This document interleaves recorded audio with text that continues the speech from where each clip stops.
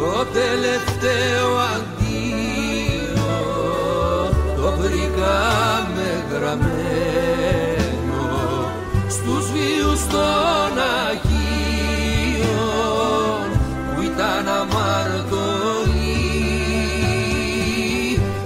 Πέθανε σε ηλικία 90 ετών ο πολυγραφότατος και δημοφιλής συγγραφέας Βασίλης Βασιλικός. Ο Βασίλης Βασιλικός γεννήθηκε το 1933 στην Καβάλα. Ο πατέρας του ήταν βουλευτής και αδερφή του πρωταθλήτρια του Ping Pong. Σπούδασε νομικής στο Αριστοτέλειο Πανεπιστήμιο και σκηνοθεσία στο Yale. Έζησε για πολλά χρόνια στο εξωτερικό και συγκεκριμένα στην Ιταλία, τη Γαλλία και την Αμερική. Το 1949 εξέδωσε το πρώτο του μυθιστόρημα και συνέχισε μέχρι το 2021. Τα έργα του έγιναν best seller, ενώ πολλά από αυτά μεταφέρθηκαν με επιτυχία στην τηλεόραση και τον κινηματογράφο.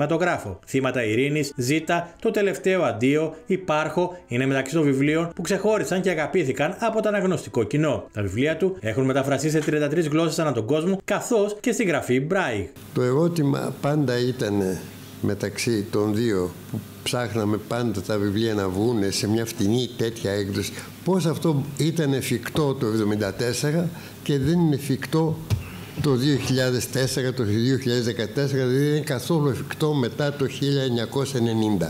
Πώς εξαφανίζεται ε, το βιβλίο Τσέπης ε, που ήταν ένα βιβλίο που μπορούσε κανείς να φτάσει πολύ δηλαδή δεν μιλάω για τιμή του αυτού δεν είναι, είναι βιβλίο τσέπης αλλά θέλω να πω σαν σχήμα που το παίρνεις μαζί σου αυτό ήταν το μεγάλο πρόβλημα και νομίζω ότι αυτό έχει σχέση να κάνει με βιβλιοπολία, με πράγματα, Ε, με, πολλά.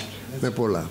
Βάσει δεδομένων της UNESCO, πρόκειται για έναν από τους 10 πιο μεταφρασμένους Έλληνες συγγραφείς. Διετέλεσε πρέσβη Ελλάδας στην UNESCO από το 1996 μέχρι το 2004. Υπήρξε επίτιμος διδάκτορ Πανεπιστημίου Πατρών στην έδρα της Φιλολογίας και μέλος του Διεθνούς Κοινοβουλίου των Συγγραφέων με έδρα στο Στρασβούργο, ενώ το 1980 κέρδισε το κρατικό βραβείο διηγήματος, το οποίο όμως δεν αποδέχθηκε. Το 2017 βραβεύτηκε με το μεγάλο βραβείο γραμμάτων του Υπουργείου Πολιτισμού και Αθλητισμού. Ο Βασίλης Βασιλικός ασχολήθηκε και με την πολιτική και εξελέγει βουλευτής επικρατείας με τον ΣΥΡΙΖΑ στις εκλογές του 2019, θέση που κράτησε μέχρι τον Μάιο του 2023.